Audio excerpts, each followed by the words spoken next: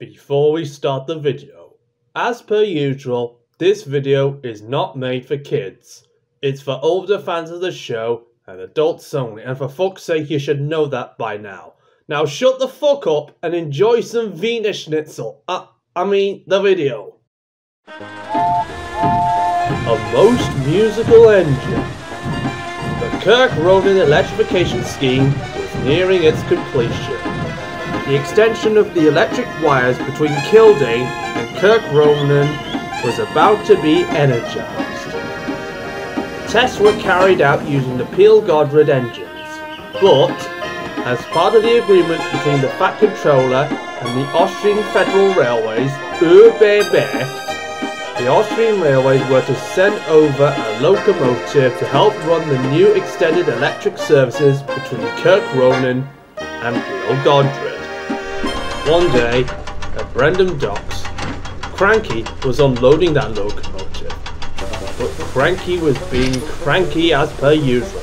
I really don't know what all the fuss is about for this engine here. it looks like nothing I've ever seen before. Looks like a red cuboid on wheels. Arr, give the newcomer a welcome, matey, said Salty. Hmm, well I would, but my chain has had enough. And then he dropped the engine onto the rail. Vorsicht! Bugger! Thankfully, no damage was done to the engine. The Fat Controller came forward to the engine and began to speak to him. I think it is only right that I say, Willkommen zu der Insel von Zoda. What is your name? Thank you, sir, replied the engine. My name is Wolfgang, and you must be Sir Topham Hatt. I've heard about you on this ship. That is right, Wolfgang. As part of the agreement with the electrification of the Kirk Ronan line, I would like to thank Herr Schmidt for his generosity in supplying us with you to run our Peel Godred electrification extension. Murdoch will take you to Kirk Ronan, where it can start being tested under the wires. Yes, sir. Thank you, sir. It's good to get off this ship at last. Murdoch then backed onto Wolfgang and set off bound for Kildare.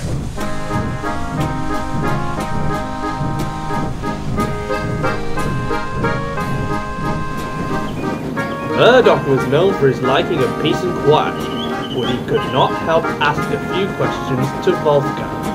So, uh, how long were you on that ship for? Well, a few weeks. After being loaded on at Koper, I only had the sound of the sea and the other cargo to keep me company. I passed the time, somehow. Well, I am one for a bit of peace and quiet after all. But that always reminds me of the stories that Salty tells me about the sea. Well, if you are one for peace and quiet, you'd like the serenity of the Alps. Two kept talking until they arrived at Kills. Molly, who was at the moment running the Kirk Ronan line, met up with Wolfgang.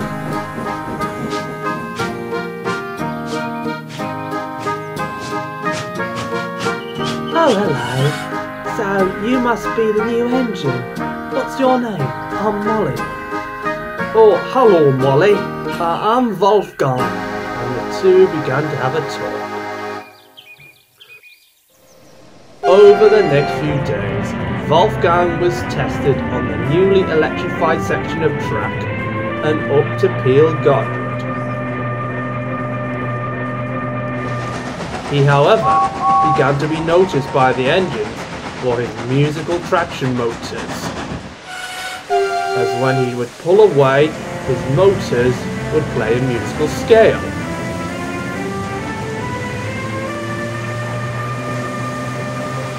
In no time at all, it came to the attention of the big engines. If his name is Wolfgang, does that mean his last name is Amadeus Mozart? laughed Gordon. Or Wolfgang von Trapp? said Henry. Where's Julie Andrews when you need her? smirked James. Then Diesel came in. Did you know that Mozart wrote a canon called Kiss My Ass? The engines gaped in disbelief. Real? Yes, replied Diesel. he wrote it in 1782 as a piece to take the mickey out of his friends. It remained unpublished for many years until recently. I couldn't believe it either when I heard about it. The big engines hollered in laughter. Oh!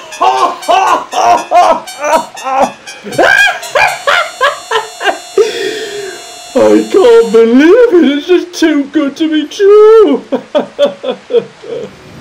then the engines began to tease Wolfgang, including the Peel Godred electric locomotives. There's a film that my driver watched as a kid called The Sound of Music. And it is very in tune with you, Wolfgang. Rock me Amadeus, rock me Amadeus. Try not to get out of tune. It's Mozart on rails. But Diesel 10 saw things differently. I don't see why Fados did a deal with Austria to get this music box on reels. Why could he have not dieselized and got rid of those electric buckets along with the steam kettles? Ah, I think he would have been the perfect candidate. ja, sehr lustig. Molly then arrived to soothe Wolfgang's feelings. Don't worry about them, she said. They're just not used to someone like you on our railway. Ugh, ah, thanks, Molly, said Wolfgang. And then he looked to the ground. Are you missing Austria already? asked Molly.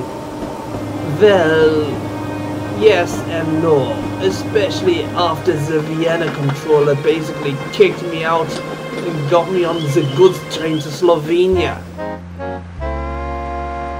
Ich danke Ihnen für Ihren Dienst, aber am 6 Uhr, Sie sind aus zu Koper und zu Sodor. Warum mich? Gibt es jemand anderen aber mehr? Kein mehr Fragen! Am 6 Uhr, Sie heraus! Ja, obwohl.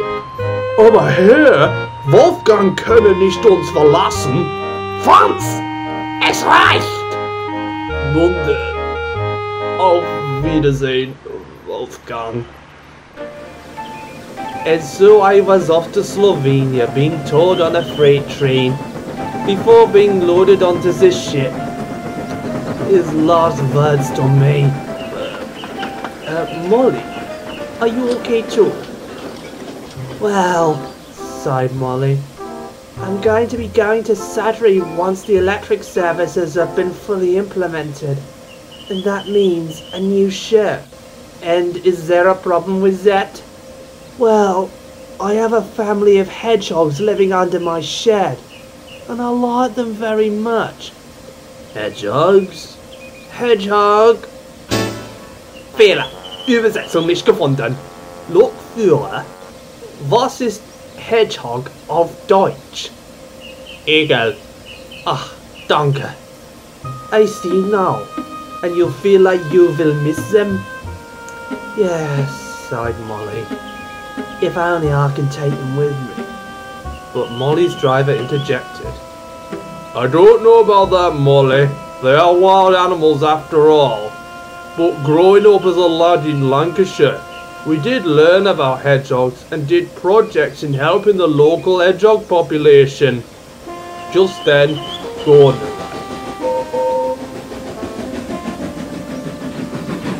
Oh, look who it is, he laughed.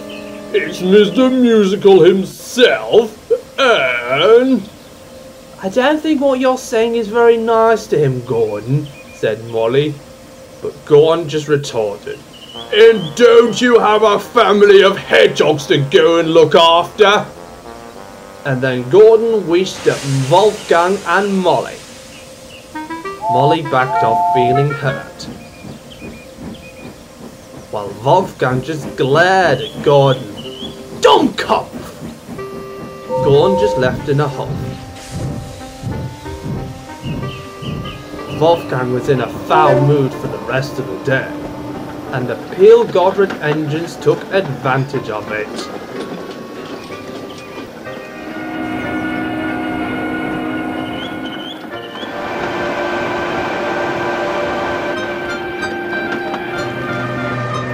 Eventually, Wolfgang saw the Fat Controller blew his horn to catch his attention.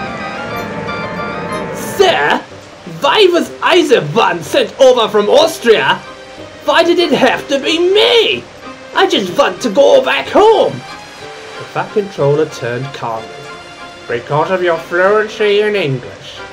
And that was the requirement I sent to ÖBB as part of the deal. Fluency? Fehler! Übersetzung nicht gefunden! Verdammt! Das Wort ist Sprechflüssigkeit. Und bitte, Wolfgang, beruhigen sich auf. Please calm down, Wolfgang. I have heard that the engines have been teasing you. If it keeps happening, I will speak to them. Now, the Mountain Fly is going to make its inaugural run tomorrow. Inaugural? Fehler. Übersetzung für das Wort nicht gefunden. Sir, can you not give me these two complex words, please? Okay, to simplify, the Mountain Flyer will start tomorrow. Passengers will be given free refreshments, including apple strudels, for their first return trip between Kirk Ronan and Peel Godred. Yes, sir, replied Wolfgang. Thank you. And please tell them to stop making jokes about the sound of music. My Lokführer said it is a Hollywood idealistic portrayal of my country and the von Trapp family. Will do, Wolfgang. Then Wolfgang left.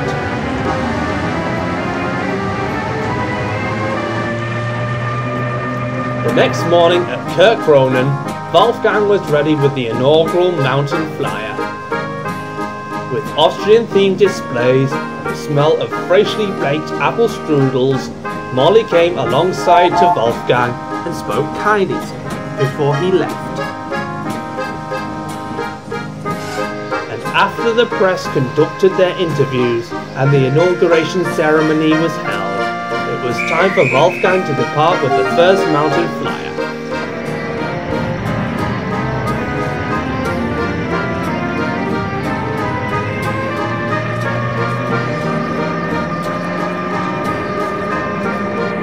Passengers on the first day also got free tickets for the Culdee Fell Railway.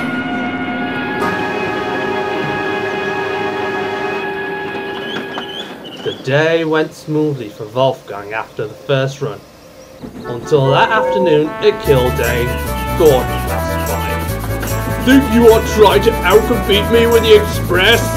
He chuckled. You can only go between Kirkronan and Peel Godred. What a pity, really. Wolfgang said nothing. But then, it happened. Gordon burst his safety. Ow! Ow! Oh dear, we're gonna need help, said Gordon's driver. But Wolfgang had the sense to approach Gordon saw him in a sorry state.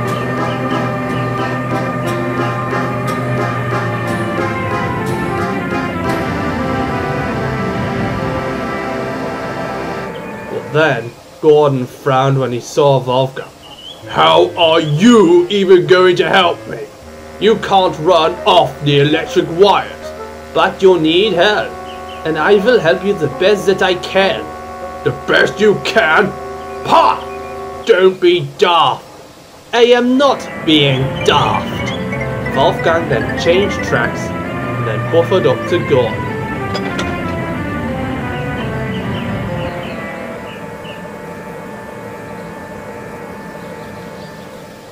The wires will last me up to Kirk Ronan Junction. Then I can use my batteries to take you to Crovan's Gate. But Wolfgang's driver was concerned. Aber Wolfgang, das ist gefährlich. But Wolfgang insisted. Nein, Lokführer, ich muss gehen zu helfen. Wolfgang's driver denied, and Wolfgang started pulling the train towards Crovan's Gate. Presently, left the wires, and Wolfgang began to use his battery, which he was not designed for.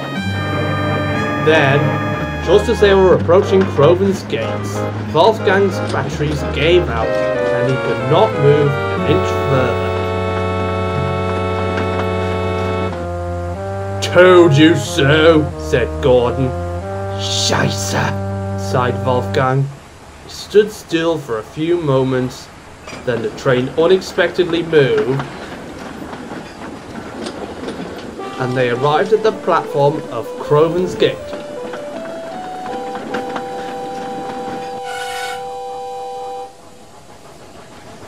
Brauchen Sie Hilfe? called a voice. It was Molly, and then she pulled alongside and smiled. Gordon felt indignant. Huh! How indignant is it to be saved by an electric box like you, who couldn't even make it to the platform here at Crovan's Gate? Oh, the indignity! Wolfgang had had enough. That is enough! I came over to this island and expected to be made welcome, but you have been laughing at me and making fun of me for my traction motors and how I was built. You're all a lot older than me. Some of you even date back to the days of the Habsburgs. And still you make fun of me. Is it too much to ask for a proper welcome in my new home? Not just you, but those electric locals too. Just you wait. I'll be back. The Fat Controller heard everything, and then he came over to Gordon. Gordon, I am very disappointed in you for your treatment of Wolfgang, among other things. Wolfgang did his utmost best to try and save you, even though he had no electric wires to run off. I have also scolded the Peel Godred engines and the other big engines for their attitudes towards him. Yes, sir. Sorry, sir, said Gordon. I would like to thank you, Molly, continued the Fat Controller, for standing up to Wolfgang whenever he was harassed and bullied. Thank you, sir, that's no problem, smiled Molly. But then the Fat Controller turned to Gordon again. But once you have been repaired, Molly and Rebecca will be pulling the express for a couple of weeks. And you, on the other hand, will be handling trains that will make you understand the meaning of the word that Wolfgang calls Scheisse. Entschuldigung, said Wolfgang sheepishly. Then Molly took Wolfgang back to Peel Godred, electric engines apologized for their rudeness and teasing of Wolfgang.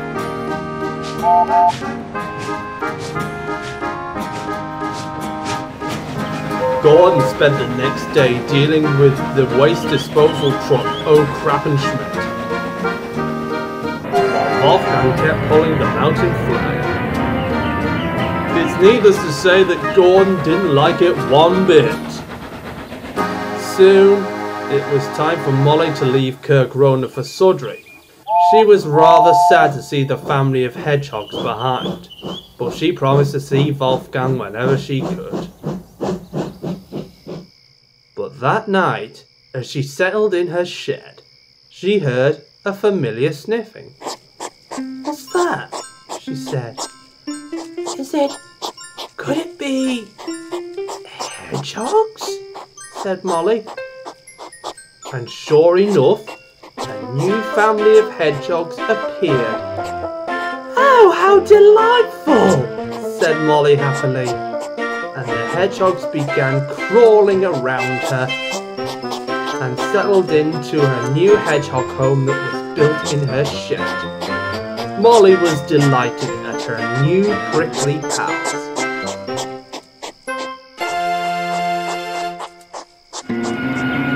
Wolfgang settled into so-called life and became good friends with other actors. But he's always thankful to Molly for caring for him. He considers her his closest